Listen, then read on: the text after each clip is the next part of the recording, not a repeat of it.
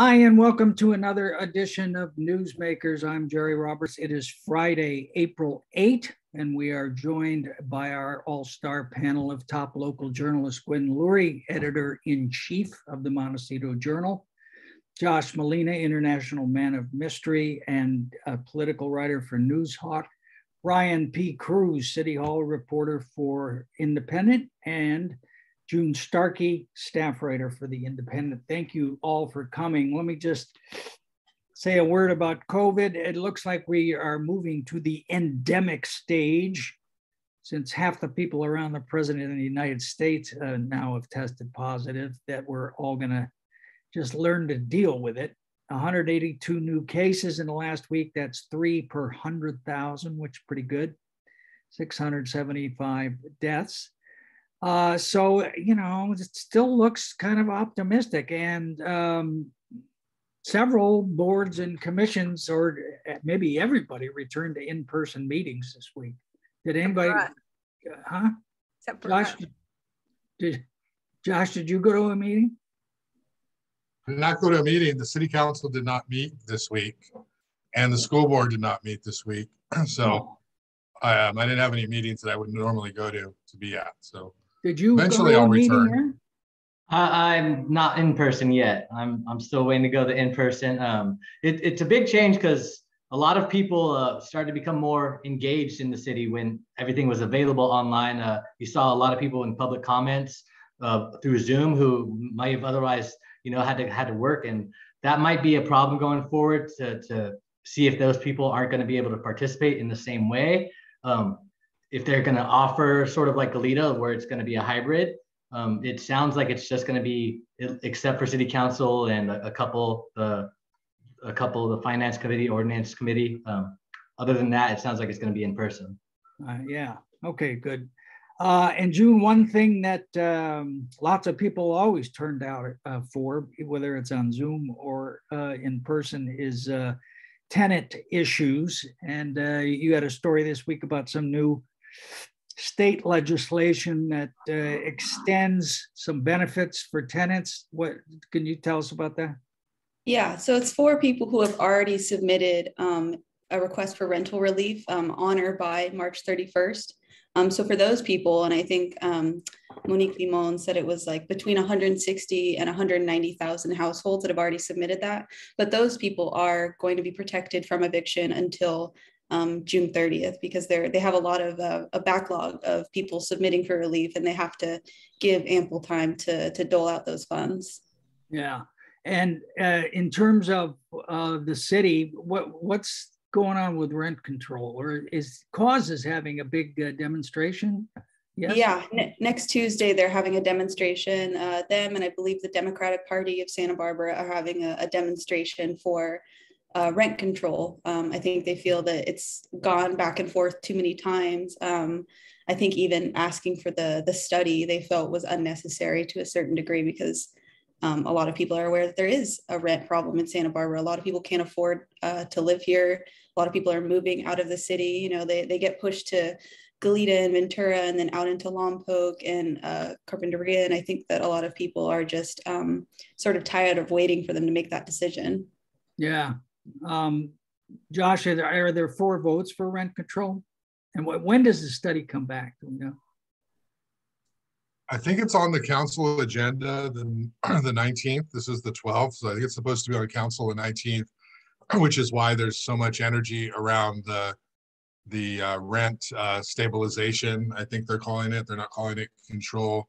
There's going to be a walk uh, Tuesday night at five o'clock so um, we're going to get that first report back and sort of the latest discussion.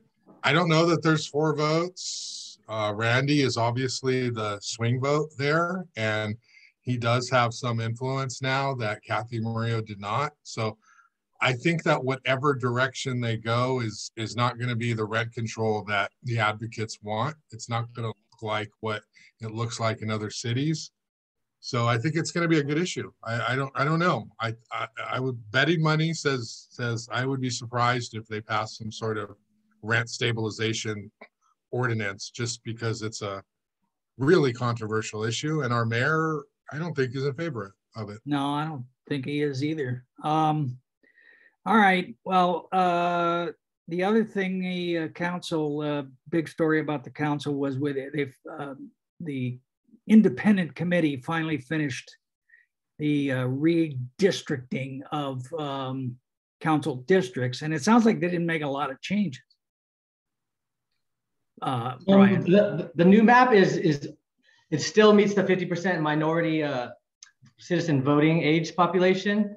Um, that was kind of the main reaction to the, the census because a few of the numbers changed in districts one and, and three, the east side and the west side were the, the districts with the most Latino population. So those were the districts where they were kind of concentrating on how to keep that at the 50%, which is uh, with the Voting Rights Act and with the, the everything that was happening legally, they have to have two majority minority districts. And that was ma- mainly the east side and west side that a little couple blocks were changed here and there. And uh, some people were, were, were spoke at the meeting because the, the west side now is just at that 50 mark. And actually in Latino, it's at 43, but that's the voting age. So it's still 63 to 64% Latino in, in the west side district overall, but the voting age is just at that 50%. Um, there wasn't any big changes, but I think what this kind of means overall is that the city is slowly losing its its Latino population and becoming, you know, more welcoming to higher paid and, and mostly white people from out of town. And it's kind of outpricing in, in these districts, especially in the west side and east side. And in the future, you know, that that population, if it continues to go down and we have to have these two min- minority majority districts, it's going to be a little harder to to draw those lines later on. yeah, Gwyn, I've only lived here for 20 years and I still don't understand what parts of Montecito are uh, represented by the city and, and which by the county. What, what, what, what, is it just Coast Village Road in Montecito? Actually, That's- just the south side of Coast Village Road. Oh, and that's it. Josh, am I correct on that? I don't know. I always thought it was of, all of um, Coast Village Road, but I don't know. I just, I just always say Coast Village Road is in the city. I Yeah, Josh, I hope I'm not wrong, but my understanding is the south side of Coast Village Road, although, you know, I might not be right because I know the Bonds Country Mart is included. Yeah. Um, And- But so it may I be. think it's just of Coast Village Road. Road to the ocean. And, uh, who, and that's Kristen Sneddon Yeah. represents it. Yeah. So do you, I mean, do, is she very visible in, in kind of looking after uh, issues over there? Yeah, I think she she's been really involved um, in this business improvement district issue. I think she has a strong relationship with the Coach Village Coast Village Association um, and you know other sort of leaders in her part of Montecito. She's she's she's around for sure. Yeah. Josh, uh, in terms of the District Three thing, you, you talked to Oscar, who was, uh, appeared unhappier in your story than he did in Ryan's story.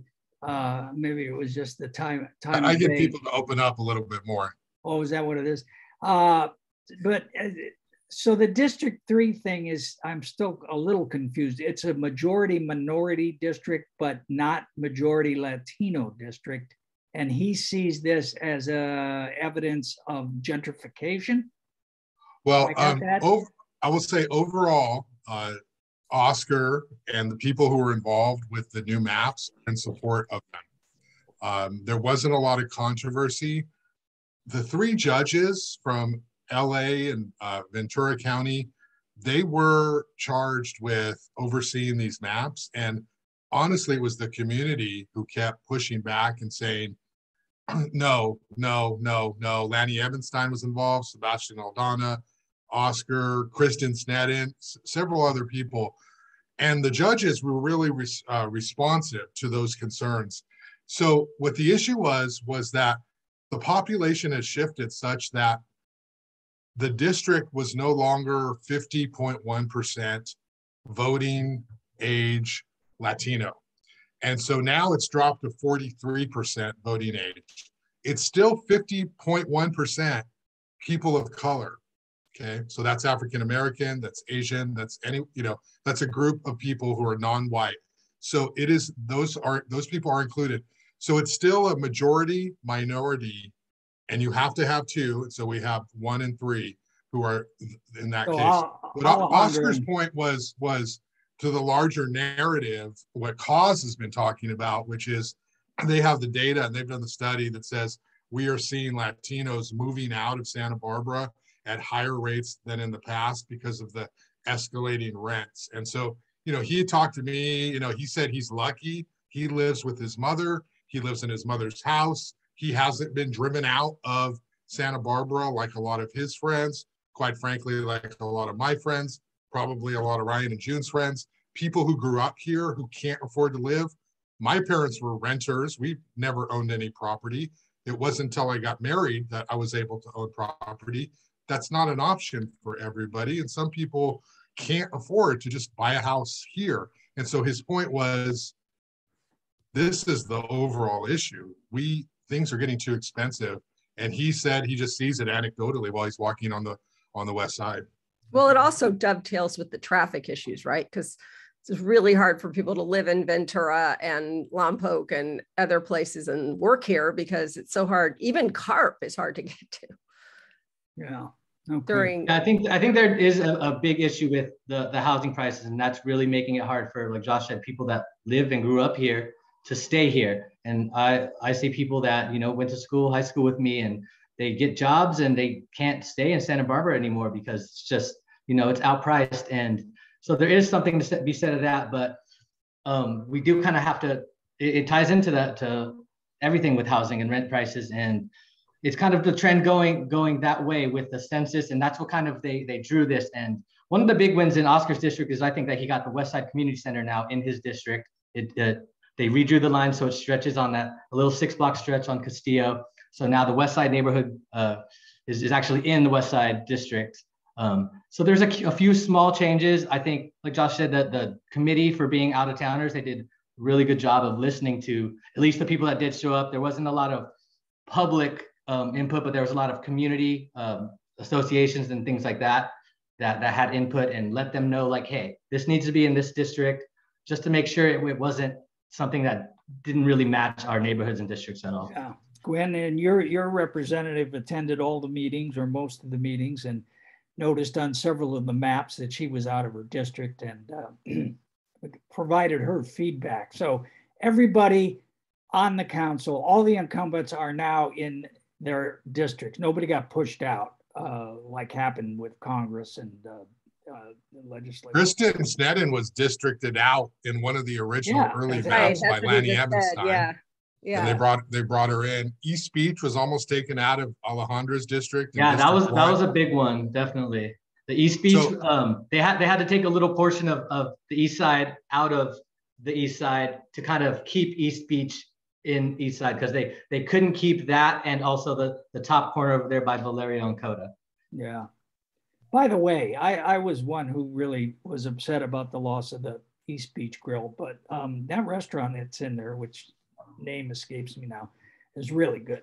Um, that was the first time I went to lunch with uh, in two years with Joyce Dudley there. It was very nice.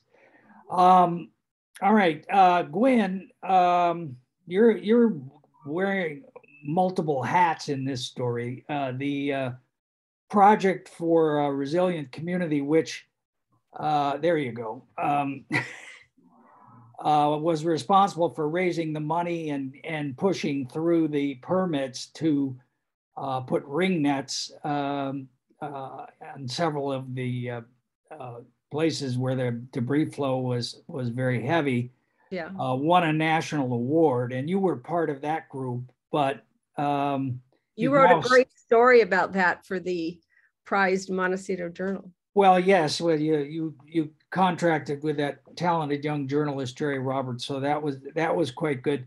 But the interesting thing, the most I hope you got paid what you're worth, Jerry. He did. um, I'm not going to say anything about me. I'm sorry, I couldn't resist. It was right there. It was like a slow ball right down the No, middle. I know.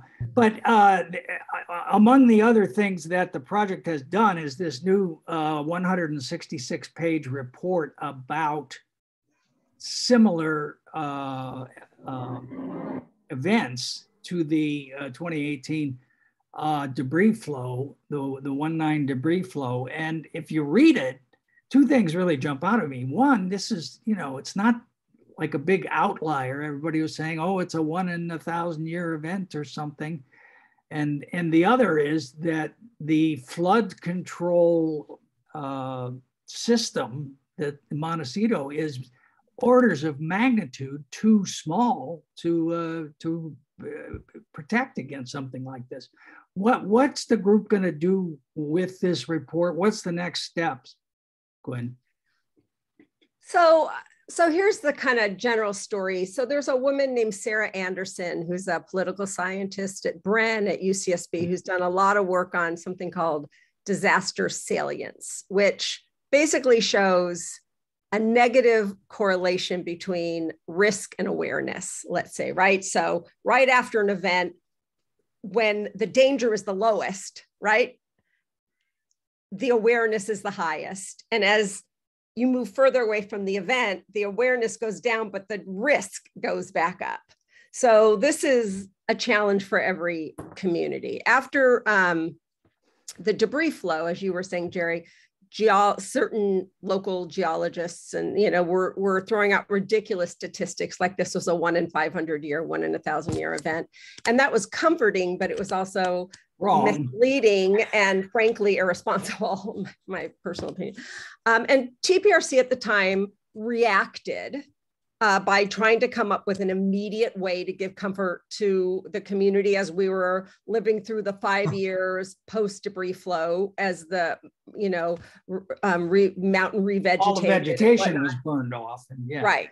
Um, and so we raised money to put those six nets up on the mountains but we knew that there was no long range plan in place whatsoever there was no no one had an idea of what we were going to do long term and so the TPRC over time decided that it wanted to oversee research um, based on which the county can create a master plan because we need a, nat- a master strategic plan. And so, with the help of certain donors who are remaining anonymous to this um, moment here, um, you know, has commissioned a report by Larry Gurrola. This is the report you're talking about, right? An independent geological engineer, and this guy Dave Rogers from University of Missouri um, uh, Science and Tech Department um, to determine the history of flood, fire, debris flow. And you know, since 1820, what did they say? Like 41 pretty major yeah. events have occurred. Um, so that's 41 events in 200 years. And, you know, TPRC doesn't have a point of view. Um, they want to do the scientific research and let the chips fall where they may. And of course, anyone who saw Jaws knows that, you know, when you tell people the truth, it creates fear, it can decrease property values. And, you know, that's what folks are afraid of um, including and and maybe most of all elected folks. So yeah. Um, uh, yeah. So what? So your supervisor, Supervisor Williams, uh, is he um, open to this master plan thing? Is there going to be a push for this? I mean, I think we feel like they're open to it. I think we feel like they have to be open to it. You know, there's a lot of research going on, not just in Santa Barbara. UCLA just came out with a report. Scientific America just came out with a, uh, a report on natural disaster disaster showing that the risk in California for such disasters is up 100% moving forward, and it's up like 700% in the Pacific Northwest. So we're really in a, a dangerous situation. And but with technologies like LIDAR and advanced weather monitoring, I think we can do much better planning, much better at you know informing people so they can get out of the way in, in a case like a major event like what happened. Um, and we can keep the community more informed. But just one other point I want to make is interestingly, you know, Kevin Taylor, who is the fire, fire chief here in Montecito, he got it. He understood what was possible on those days in that that period before this event the 2018 debris flow and he spent a small fortune on bringing swift water re- rescue team here military teams here and which you know is told to have saved probably 200 lives. If Yeah. this event hadn't happened, it would have looked like he wasted money.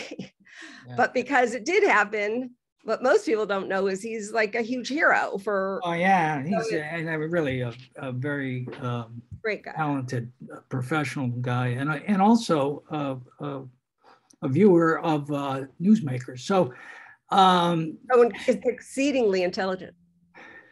uh, so we were talking about stuff that's returning to normal. Uh, Jun, uh, Deltopia was back um, uh, last week, last weekend. Um, were you out there or were No. you uh, just? No, uh, I did not go. Right. I, you know, because the, the on Twitter it looked like there well, there was a mass casualty event, you know, which got picked up by all the national media. But They need to Yeah. change that. They need to change that name. Yeah, they need to communicate that a little bit better because I, I, I understood I understood what it meant, but I feel like any normal person who reads that is going to think, you know, 10 people died at Deltopia. Um, but it wasn't as bad, obviously, as as years before, um, even, you know, the years following the, the 2014 riots, but um, it was definitely more than these past two years with COVID.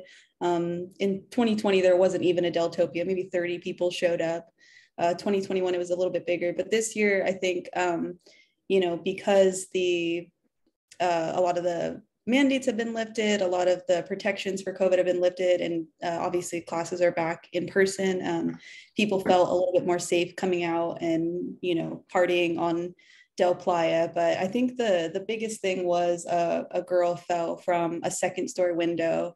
Um, hurt herself pretty badly. Um, a couple other people, I think a, a few had to be like helicopter lifted because it was so dense with people that it was impossible for um, emergency responders to get to the people that were injured. So they had to be, you know, strapped down and airlifted out. Um, but it was mostly just a couple broken bones, um, nothing too too serious, not a casualty. all right. So a- minor mass casualty Yeah. uh, event. And Josh, they're they're they're bringing back Solstice also, um, but changing the the route. Obviously, can't go down State Street uh, anymore. Um, any any controversy about that, or everybody's pretty happy? I don't know. I know that the people on the promenade want to keep their outdoor dining, so I'm sure this is a good compromise. I haven't done any firsthand reporting on that issue, but long term, I think it's part of the conversation as to why outdoor dining, according to some, should be portable because you're going to need to have solstice downtown. There aren't a lot of restaurants on Santa Bar. Is it Santa Barbara Street? Santa Barbara? Street, yeah, I think. there aren't a lot of re- er, restaurants, not certainly not the same concentration as on state. So they won't be getting that same um, sort of uh, benefit from it. So portability, I think, is the way it's headed so that we can see these parades return to downtown. Yeah, all right. And then um, you, and Nick's not here to, uh, to hear me say that you stomped him on the, uh, on the big bird refuge shocker. Uh, what, uh, what, the stink from the, uh, from the bird refuge is, is gonna be a thing of the past? I prefer to just say we're we're all working together in this community, Jerry. So we don't have to point out scoops. It's very 1980s Chicago. It really is, Jerry. I agree with Josh. If if Ryan has a story on a Monday, maybe I didn't want mine to run till Thursday. Uh, Maybe. yeah, Or maybe, or maybe they sat on it too. Or maybe Josh has something different to say about it. Yeah, maybe I I got Oscar to say things. You know. All right, uh, talk about the bird refuge. Hey, Gwyn, does, does that smell from the bird refuge uh, get o- get to Coast Village Road? Is it a problem in Montecito or not? I think that's why I'm fanning myself. Really? No, Okay. No, That's I've never, cannabis, I've Jerry. never smelled it on Coast Village Road. I've certainly smelled it, uh, you know, near the dining. Underwater. Yeah. So what what what are they going to do, Josh? Uh, well, the Andree Clark Bird Refuge is a great sort of visual paradise. It's it looks beautiful when it's full and nice. There's ducks there. There's birds. It's a place for people to go and sightsee, relax, and uh, it's a it's a landmark, right? It's one of the great uh, treasures of Santa Barbara. But every now and then, uh, there's this algae bloom when the water's stagnant, and it creates off this this rotten egg smell. And for years, the city just sort of let it go away and pass. And then they finally had some money to sort of invest into trying to fix the problem. So I'm not a scientist. Um, and when trying to explain the story, even talking to the environmentalists at the city who are trying to explain it, there's lots of moving parts. But essentially, what they're going to do is get the water circulating. Uh, it doesn't circulate right now. There's a broken weir underground that is supposed to allow water to flush from the ocean into the refuge uh, when there's high tide. So there's supposed to be some circulation. We don't get enough rainfall for it to flow. It's also a place, it's a watershed. We're, we're uh, downhill, downstream, supposed to get water from uh, Montecito and uh, above, but it hasn't been happening. And so they are going to make these changes to circulate the water and hopefully get rid of this issue. And also, they're putting up some new fences to block the homeless.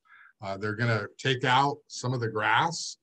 Um, so there's also some aesthetic changes that they're doing there. Uh, but it's it's a it's an important thing for them to do because that's such a treasure in Santa Barbara place to it was so it was so away. hard for restaurants like Stella Mare who yes people couldn't even eat outside during the pandemic.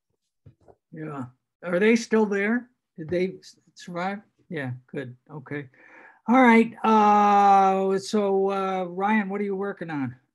Well, next week we got a I got a big uh, cover feature on uh, Milpas and Milpas Street, Milpas oh, good. whole area. Um, kind of a, a, deep dive on what's happening over there, kind of how it came to be, um, some of the, the, businesses we have over there, and what's it looking like in the future. Because we're applying for uh, some safety improvements on the, and the crosswalks and the lighting fixtures out there.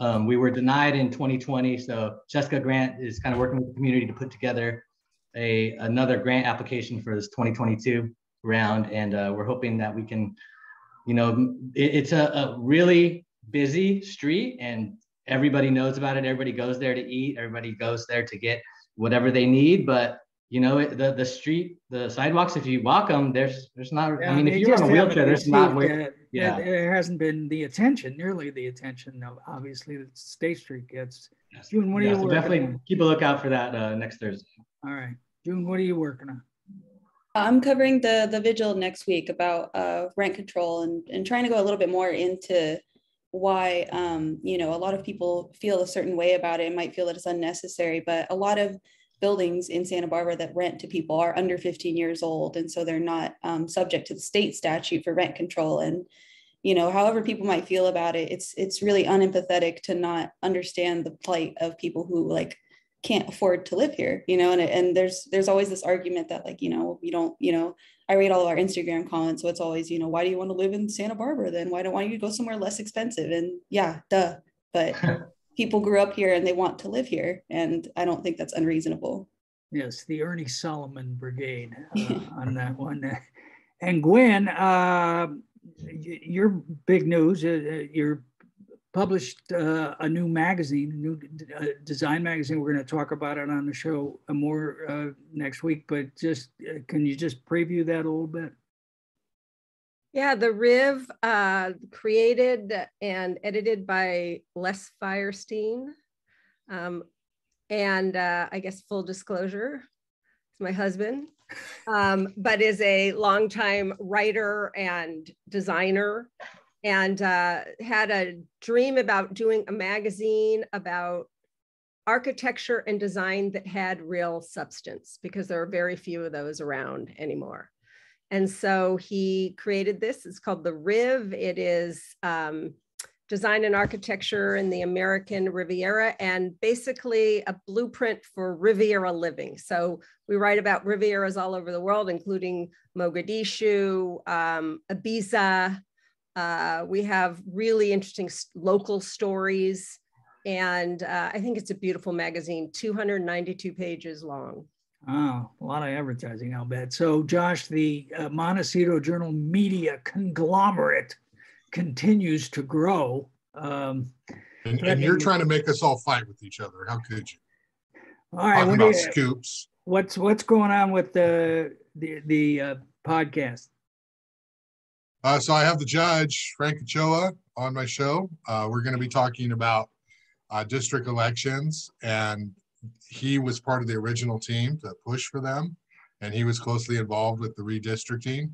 We're also going to talk about Juana Flores, who was a longtime Toledo resident who's back in the U.S., but they're still fighting to get her permanent uh, status to stay here in the country. And uh, we'll touch base on a few topics. So Yeah. looking forward to that conversation. Yeah, the judge is a great man. Um, all right. Well, thanks everybody. Uh, Gwyn Lurie, uh, Josh Molina, Ryan P. Cruz, Jun Starkey. Thanks for taking the time to check in. Thank you for watching, and we'll see you next time on Newsmakers.